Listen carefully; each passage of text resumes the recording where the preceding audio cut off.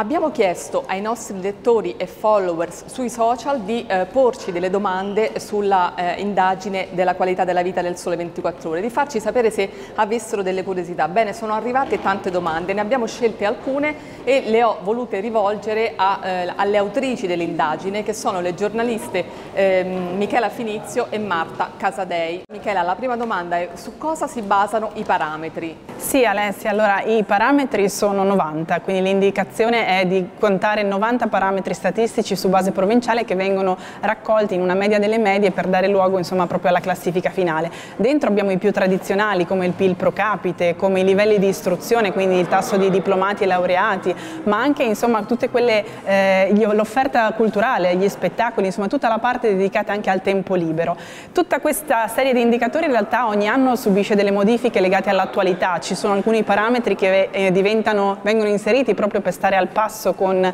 i tempi, per esempio quest'anno abbiamo inserito l'indice della solitudine che ci permette di misurare la crescita dei singoli e quindi delle famiglie mono eh, fatte da una sola persona all'interno del nostro paese, purtroppo un dato in crescita e poi ci sono i farmaci contro l'obesità e tantissimi altri indicatori che potete appunto controllare sul eh, sito del Lab 24, del Sole 24 Ore. Un'altra domanda riguarda l'ultima classificata che è Foggia, perché Foggia è in fondo alla classifica? Foggia in realtà è, è stata già all'ultimo posto della classifica della qualità della vita altre due volte, l'ultima 12 anni fa. È tornata appunto in questa posizione in realtà grazie a una serie di eh, dati purtroppo negativi sui eh, furti, sulla criminalità e poi ci sono tutta una serie di altri indicatori che la spingono sul fondo nella categoria affari e lavoro. Sappiamo che è stato un territorio commissariato per mafia e quindi ora cerca di eh, uscire insomma, da questo periodo che ha portato probabilmente probabilmente un po' di depressione sul territorio,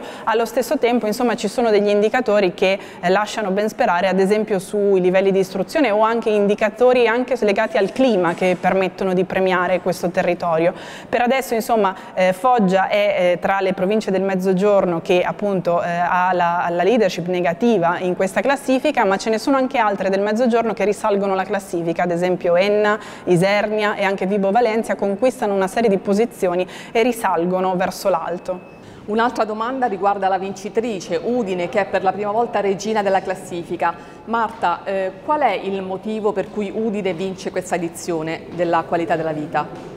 Allora Udine eh, che sale di 11 posizioni rispetto all'anno scorso diciamo che ha delle performance di livello medio-alto in pressoché insomma, tutte le sei aree della qualità della vita. Ci sono però dei record che mette a segno, eh, una è una doppietta insomma, nel senso che vince anche l'indice della qualità della vita delle donne che è un indice sintetico che misura un po' il benessere della vita delle donne in Italia insomma, con diversi parametri legati al lavoro, alla vita, insomma, alle, allo studio e poi per esempio ha dei record come so, il numero di eh, piscine piscine, di centri insomma, dove si possono praticare discipline sportive in rapporto alla popolazione e questo sicuramente insomma, la spinge in alto. Un'ultima domanda riguarda la parità di genere, in realtà Marta hai già risposto a questa domanda, però è una buona occasione per spiegare che da questa edizione l'indagine eh, della qualità della vita analizza eh, in dettaglio la condizione delle donne nel nostro Paese. Eh, sì, questa edizione della qualità della vita analizza assolutamente la parità di genere attraverso innanzitutto un nuovo indicatore che viene inserito